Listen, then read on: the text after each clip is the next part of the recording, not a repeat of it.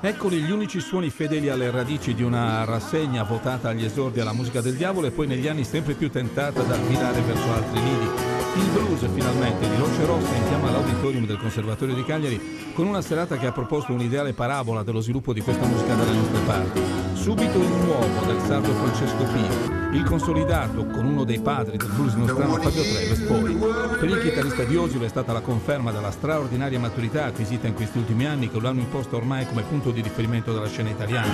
Tecnica travolgente alle chitarre, geniali intuizioni perfino con il washboard, messo da parte il dobro Francesco Pio si è dimostrato padrone della scena con un concerto vibrante e coinvolgente tra Robert Johnson e Ray Charles e un feedback continuo con il pubblico.